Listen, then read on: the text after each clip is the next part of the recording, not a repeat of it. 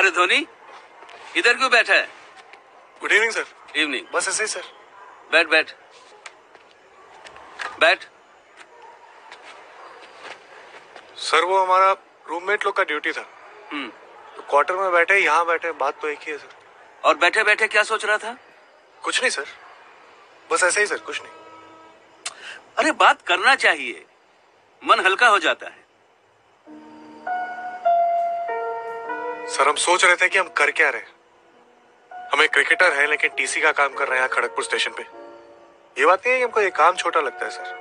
लेकिन हमको ये समझ में नहीं आ रहा कि हम यहाँ से आगे कैसे खेलेंगे। रोज हमारी लाइफ में क्या चल रहा है, सर? हम ही जानते हैं। आठ हज़ार तेरह अप और आठ हज़ार उनतीस डाउन के बीच में हमारा जॉगिंग हो जाता है। फिर गेट नंबर तीन के सामने खड़े-